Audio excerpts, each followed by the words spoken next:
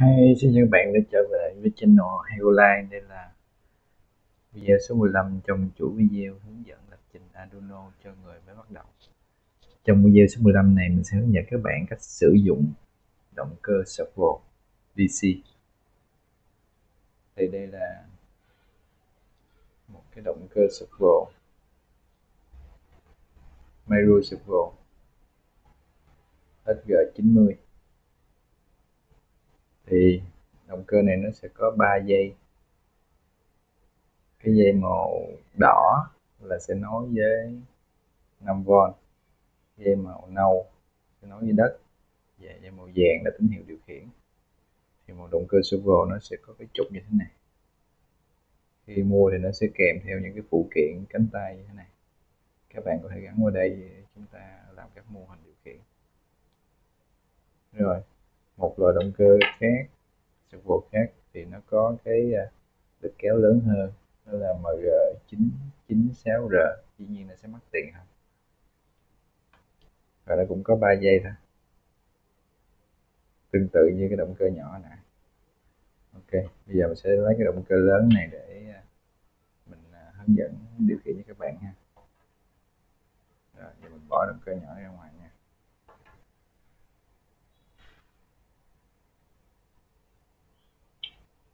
rồi đây là một cái động cơ ờ, có góc quay từ 0 cho đến 180 độ. Có nghĩa là bình thường, động cơ nó ở mức này nè, là 0 độ nè. Thì mình có thể điều khiển, thay đổi cái góc của nó. Ví dụ mình nhập số 0 để nằm vị trí này. Nhập số 90 nó sẽ quay tới đây. Nhập 180 thì nó sẽ nhanh nó quay tới đây 180 độ. Rồi. Bây giờ mình cho nó vị trí bất kỳ đi. Bây giờ mình sẽ kết nối vào trong mạch ha. Thì mình lựa cái à, những sợi dây nó cũng, cái màu cũng tương tự để chúng ta nấu cho đỡ bị nhầm. Rồi dây màu vàng. Màu đỏ. Và cùng dây màu nâu. Rồi dây. Dây nâu chúng ta nấu vào đất ha rồi dây đỏ thì nó là nguồn 5V rồi dây vàng thì chúng ta sẽ nói vào những chân có dấu ngã để chúng ta có thể điều khiển được vị trí của nó. Vô đây mình sẽ nói vào chân số 3 ok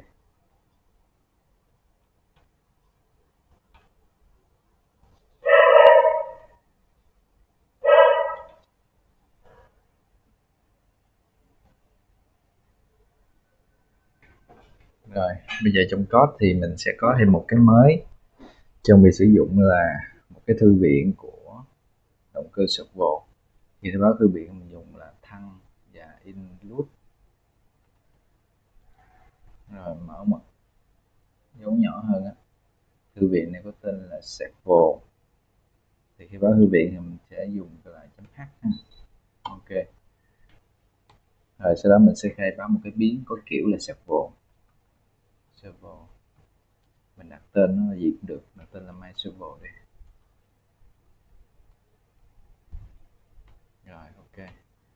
Rồi giờ cái biến mà mình dùng để điều khiển động cơ servo này à, cái chân của nó là chân nãy mình cắm như chân số 3 thì mình sẽ gọi nó là servo pin.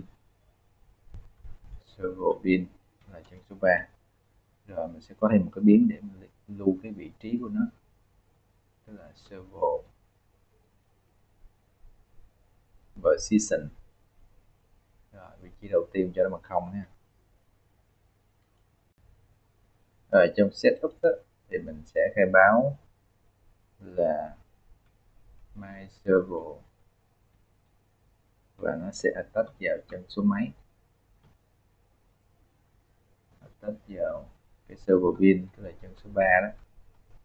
Thì cái khai báo này nó cũng giống như khai báo pin mod, output, input.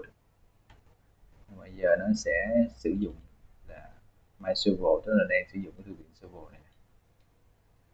Rồi, bây giờ xuống đây thì mình sẽ sử dụng là my server. Chấm write nó cũng y chang như là digital write rồi sau đó là vị trí. Several position ok. Có nghĩa là bằng cách mình khai báo my server tách thì mình sẽ cái thư viện server bin này nè nó sẽ tạo ra những cái xung tín hiệu để có thể chỉnh cái uh, cái động cơ server của mình về một cái vị trí tương ứng với lại là server position hiện tại nó đang là không độ. Thì cái này nó đang là độ nha. Là không độ 90 độ 180 độ. Là cái giá trị độ khác. Đây đang là độ ha. Okay. rồi, bây giờ sẽ nạp thử nè. Thì các bạn để ý cái à, động cơ server của mình sẽ quay nha. Thì đây là cái vị trí đầu tiên của nó. Nó sẽ là vị trí là tương đương với là không. Tương đương là không. Rồi bây giờ mình thử mình chỉnh 90 độ xem. 90 độ cho nó nạp lại.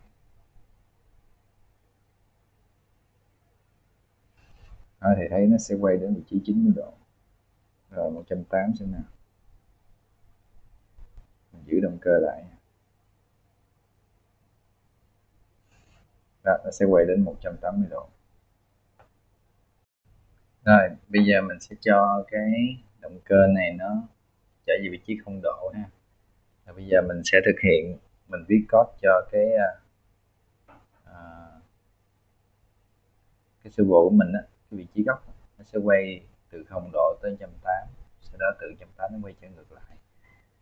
Như vậy thì mình cần phải có một cái dòng lặp for thì ở đây mình sẽ cho for.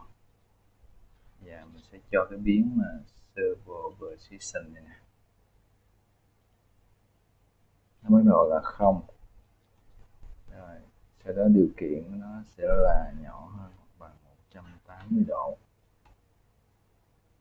Và cái giá trị của nó sẽ là tăng lên mỗi lần nó sẽ tăng lên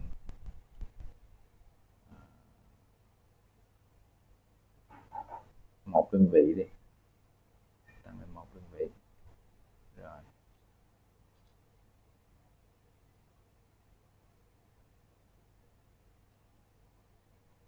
Tăng lên một đơn vị ha. Ok. Và sau mình gắn cái giá trị này, cái vị trí này cho cái à, cái server của mình. Rồi, delay thời gian khoảng 15 giây cho nó chậm lại. Để mà nó chạy nhanh, mấy bạn coi. Nó giật chưa? Rồi sau khi chạy tới 180 độ rồi nó sẽ quay ngược trở lại. Thì đây sẽ là 180 độ. Ngược lại thì cái này sẽ lớn hơn hoặc bằng không. Rồi ở đây sẽ là trừ một. Sau đó là nó viết này này, rồi, ok. Như vậy là nó sẽ chạy từ 0 cho đến 180 sau đó nó chạy từ 180 cho về 0 sẽ nạp code ha thì mới vô nó sẽ ở vị trí là không độ nè. Đó. nó sẽ chuyển động từ từ sang trái.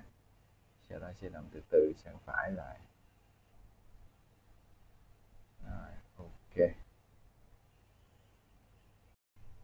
Rồi, tiếp theo mình sẽ làm một cái ví dụ là mình sẽ điều khiển cái vị trí các giai đoạn của servo bằng biến trở rồi, giờ mình sẽ lắp biến trở nha bây giờ mình tắt cái à, Arduino mình đi, để à, mình lắp biến trở vào cái này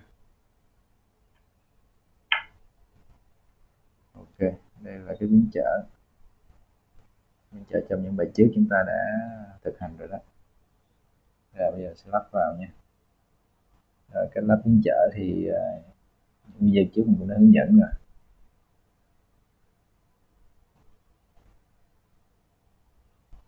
Ok, mình sẽ có 3 sợi dây ha. Màu đỏ mình sẽ là chân số 3 bên tay phải. Rồi, màu cam sẽ là chân số 2 ở giữa. Còn lại là màu đen ở chân số 1 bên tay trái. Rồi, màu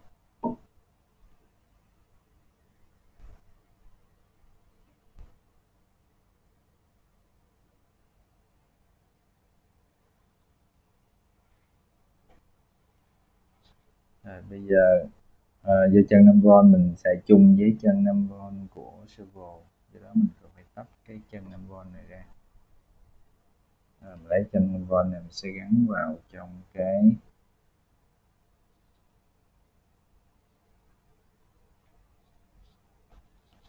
năm v ở đây ha. Ok. Rồi mình chỉ cần cắm cái 5V của biến trở vào đây là được.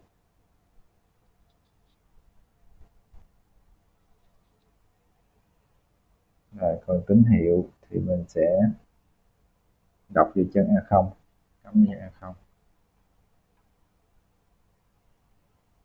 ok rồi giờ mình sẽ thiếu một sợi dây. Tức là mình sẽ cần cái 5V cho cái servo. 5V cho servo. Và mình đổi dây màu đỏ này qua đi.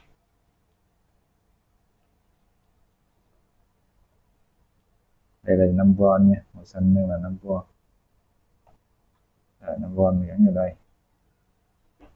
Rồi, cái servo mình nói cái à, 5V của servo ok giống như nãy này.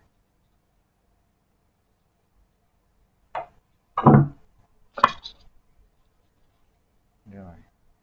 Chân tín hiệu lắp rồi. Giờ còn cái chân đất. Chân đất thì ở đây nó còn cái rất là chân đất, cứ cắm thoải mái vậy chân đất, ok. Rồi, mình tóm tắt lại nha. Vậy là động cơ servo thì vẫn gắn như nãy. Gắn vào chân 5V và chân tín hiệu thì gắn vào chân số 3 còn biến trở biến trở thì mình gắn chân bên phải là 5V chân bên trái là đất và chân giữa thì mình sẽ đọc tín hiệu. Và trong Arduino là A0 rồi ok chưa?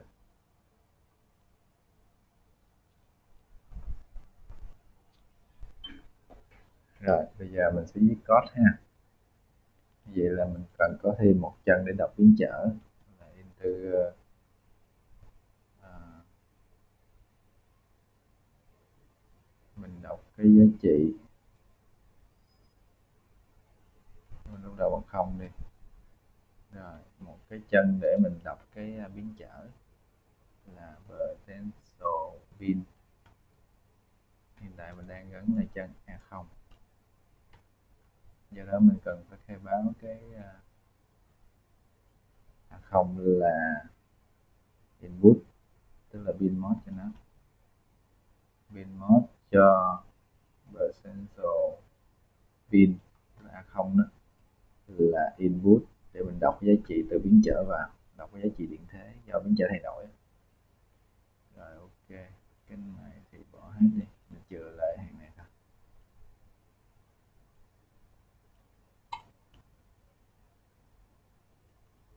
Rồi, bây giờ mình sẽ đọc cái giá trị biến trở, đọc cái giá trị điện thế do biến trở thay đổi tức là read value. Các bạn nhớ là sử dụng hàm analog write analog read analog read từ cái chân là board pin. Rồi. Sau đó, mình sẽ cho cái hàng servo position này nè. Nó sẽ bằng read value. Tuy nhiên, cái giá trị mình đọc được ở đây á, nếu là 5V á, là nó sẽ tương đương với lại là 1023 do đó mình sẽ không có gắn trực tiếp thế này, mà mình sẽ thông qua một cái gọi là map. Rồi, map những cái giá trị mà không á, thì nó sẽ tương đương với lại là không độ. Nó sẽ có bốn giá trị ha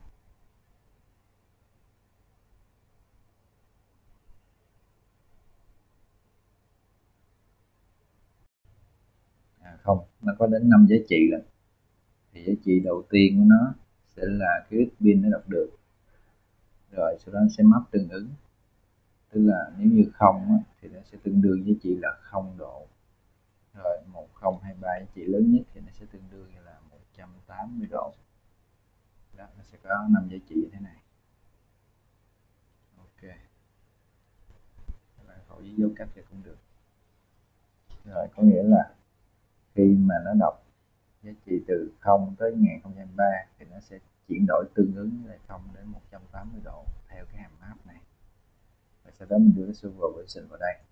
Thì mình sẽ điều khiển được cái vị trí của cánh tay đòn này nè theo cái, à, cái giá trị điện áp đọc được mà biến trở thay đổi. Tờ biến trở này sẽ thay đổi thì giá trị điện áp đọc được nó sẽ thay đổi từ 0 đến 5V tức là tương đương từ 0 tới 1023 thì nó sẽ map vô đây. Thì cái giá trị position của servo nó sẽ đổi từ 0 tới 180 độ. Thì đó mình sẽ điều khiển được cái cánh tay đòn này. Rồi, ok, mình sẽ làm có thử nha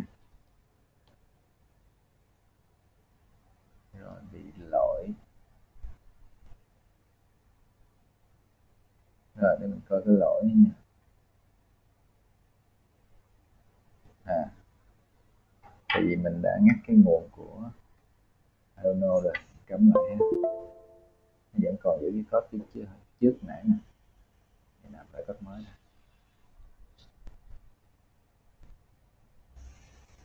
Ok rồi bây giờ biến trở mình xây nè.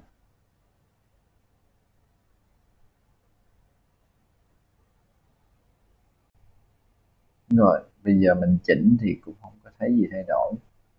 Ok bây giờ để mình in thử cái giá trị à, cái value này ra serial để xem là mình lắp cái biến trở có đúng không nha. Mình cần khai báo thêm cái serial uh, in. 9006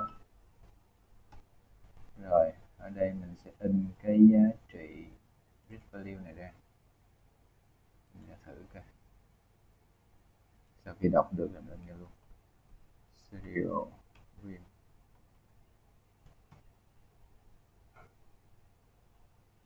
rồi ok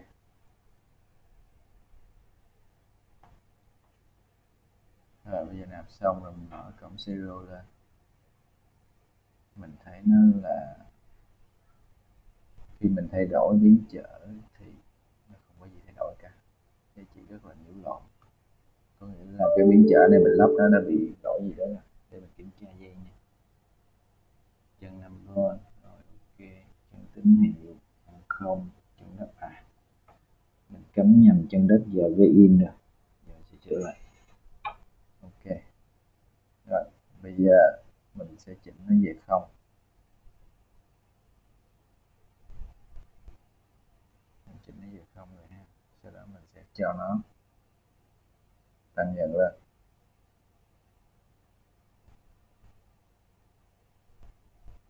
Rồi, thì các bạn sẽ thấy giá trị thay đổi nè yeah.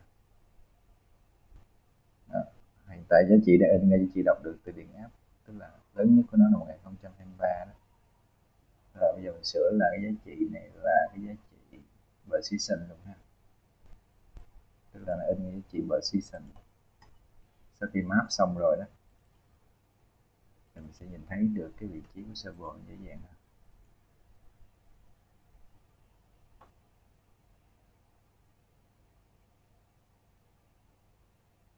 rồi 180 độ ha, để giảm xuống nè.